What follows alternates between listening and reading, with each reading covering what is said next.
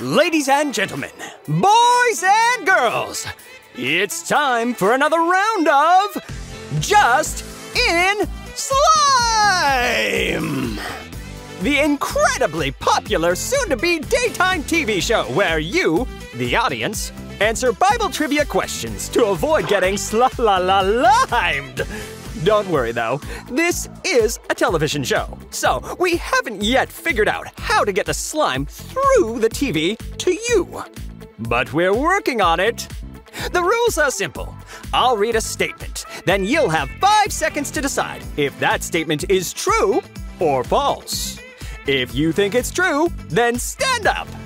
If you think it's false, then sit down. True, stand. False, sit. Easy enough, right? If you choose the wrong answer, you get slimed! Think you can make it through all six questions without getting slimed? Well, we're about to find out because it's time to play Just in Slime! Here is the first statement Jacob was Esau's father. True or false? Remember, stand if you think it's true, but sit if you think it's false. Okay, time's up. Who's standing? You just got slimed! Jacob was Esau's brother, not his dad. Now it's time for round two. Esau traded his birthright to Jacob for a bowl of soup. True or false? Don't forget, stand for true, sit for false. Okay, time's up. Who's standing? You are correct. I see you are starting to get the hang of this. Let's see how you do in round three. Jacob promised to work for seven years for the chance to marry his wife, Rachel.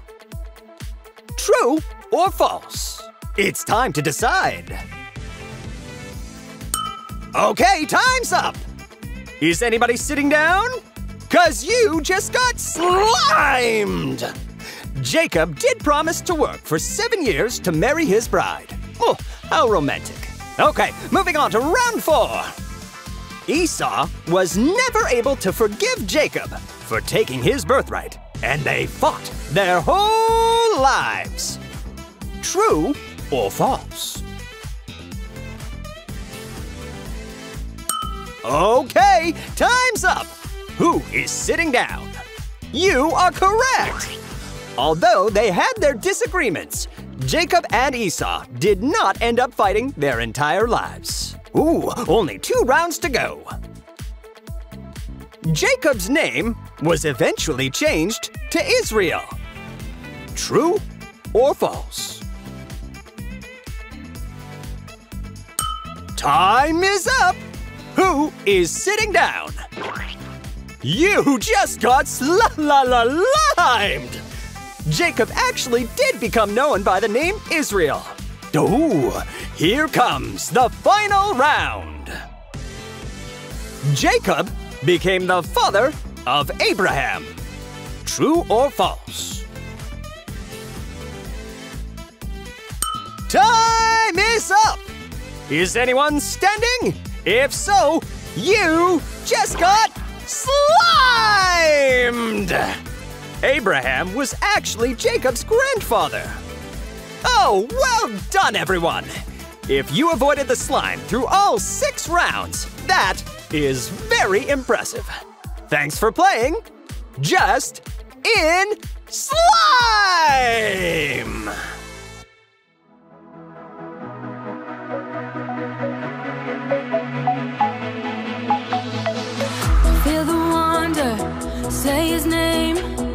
Watch the darkness slip away.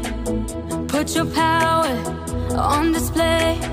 Say goodbye to fear and shame.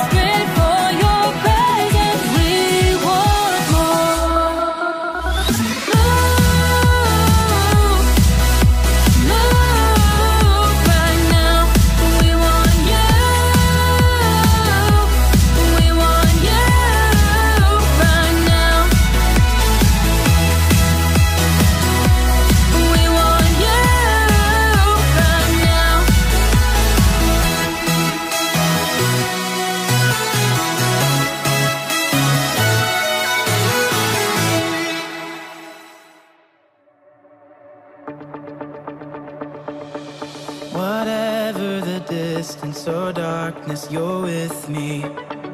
You're with me. Whenever I'm failing or falling, you've got me. You've got me.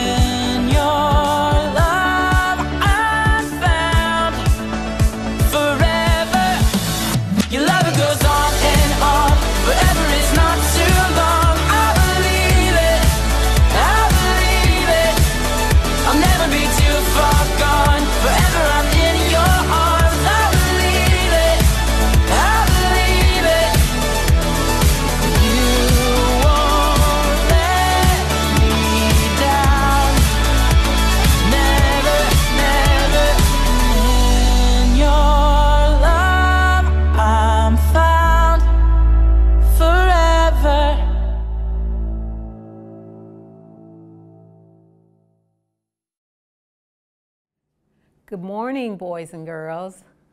This is Sister Cynthia here to share with you another wonderful lesson.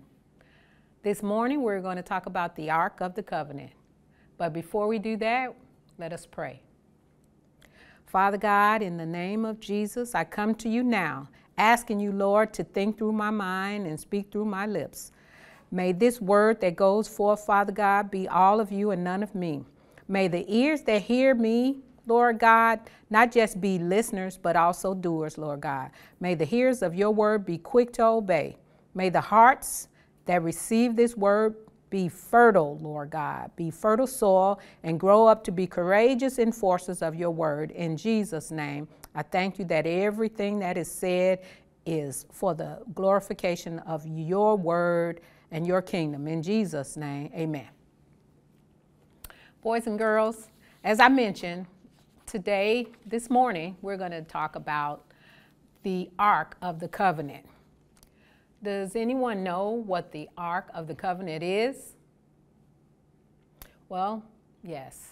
Let me tell you, that is one of, uh, the Ark of the Covenant is one of God's greatest mysteries. And it actually is a big box.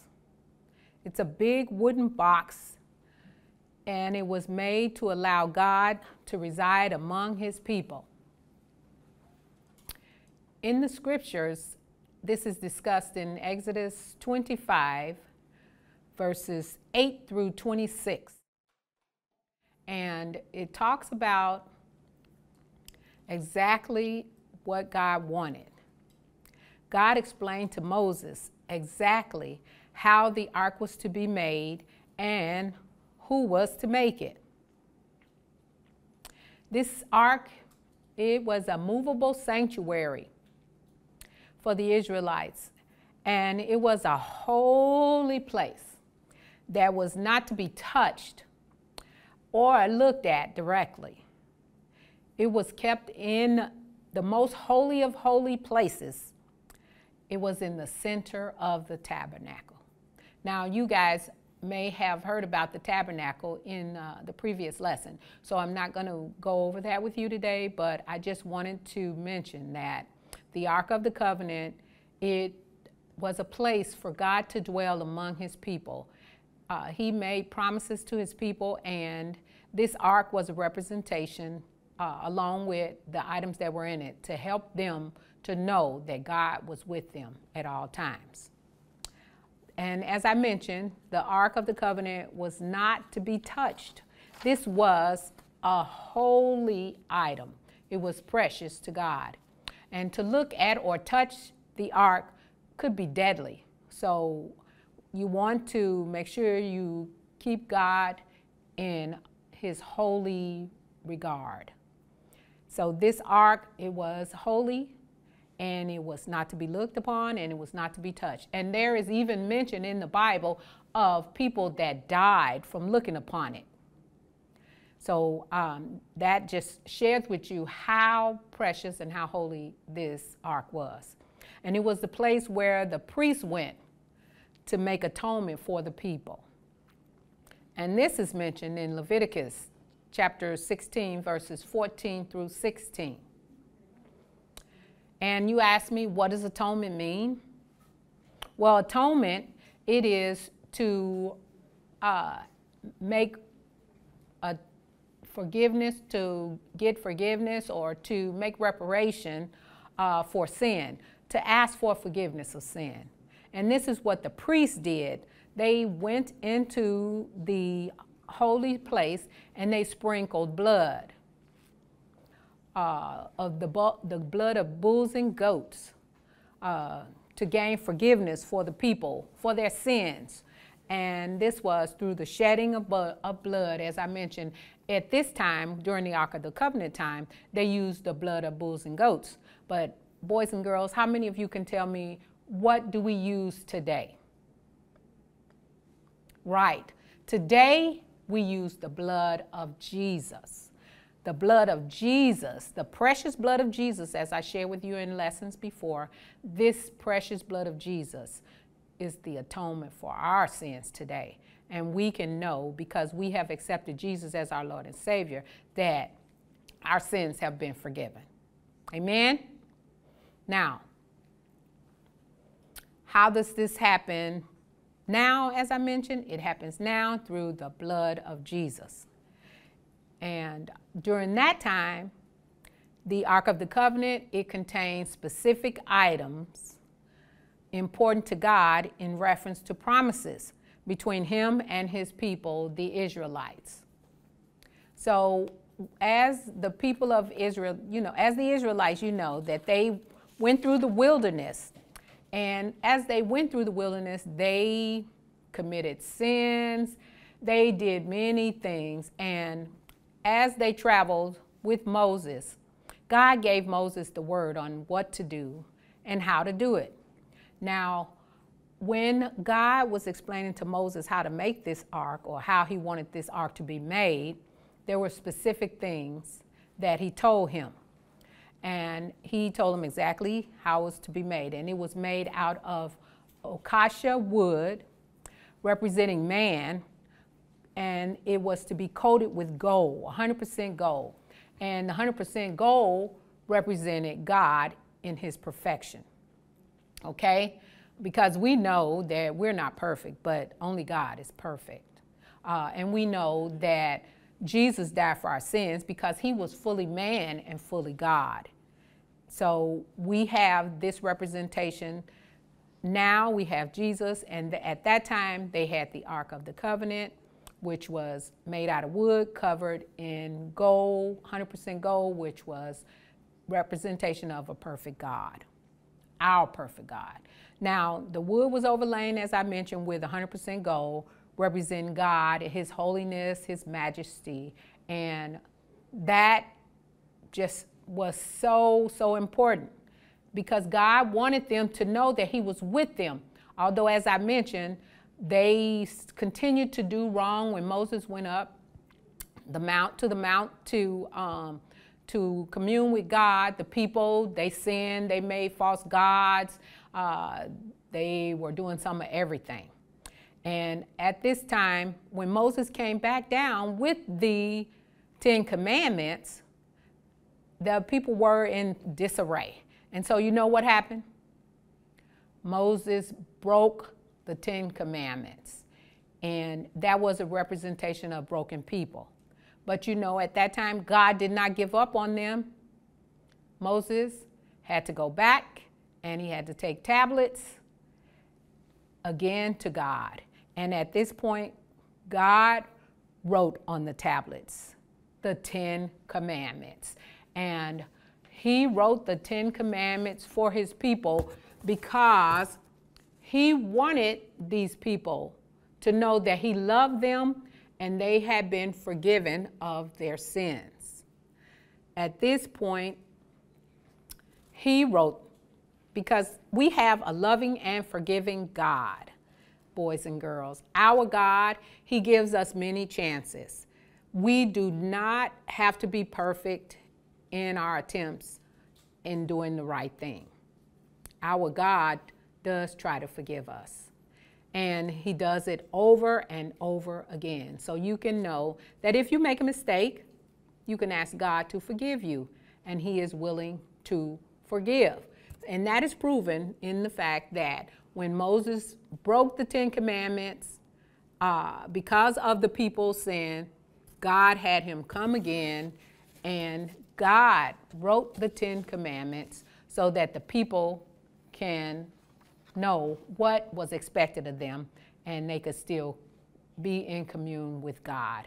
Isn't that a wonderful God that we serve? He forgives us. Not just one time, not just two times, not even three times.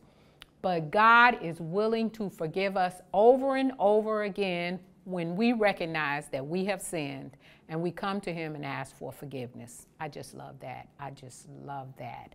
Now, as I mentioned, when Moses brought back these Ten Commandments, he also was informed by God how he was to make this ark. And God explained exactly how he wanted it to, made, to be made. Now, this ark, he gave him specific dimensions. It was supposed to be 3.9 feet long and 2.3 feet wide and tall. Along the top edge, it had king's crown fashioned in solid gold around the edges, as you can see in, the in my picture here, that around the top of the ark edges, there was a crown fashioned in solid gold. Okay, so what was in the ark? I'm sure you can tell me. Yes, in the ark there was manna the bread the Israelites ate while they journeyed through the wilderness. And there was the staff of Aaron, which I mentioned to you that budded. And there was the Ten Commandments. These were the items that were important to God and to commune with his people so that they would not forget how God was with them through this entire time. Now, boys and girls, as they had the Ark of the Covenant, we have Jesus. We have Jesus, and we have the blood of Jesus that was shed on the cross for us for our sins. And if you, boys and girls, would like to know that you have God in your life, that you're saved, and you know that you'll commune together with Him in eternity, you can have that life now. All you have to do is ask Jesus to come into your heart denounce Satan, and you can be saved. So I would like for you to just say it with me. Lord God, I accept that Jesus is the Son of God, that He died for my sins, and He rose again on the cross. And I would like to live my life in Jesus Christ from this day forward, in Jesus' name. Now, if you said that prayer with me, you're now a child of God, and I need you to know that Hebrews chapter 9, verse 12 says, With his own blood he entered once into the holy place, having obtained eternal redemption for us. And that tells us that we are saved because Jesus died for us. And we don't have to do it again, and neither does he. And we are saved. And remember that Jesus is Lord. And I look forward to seeing you next time. Super.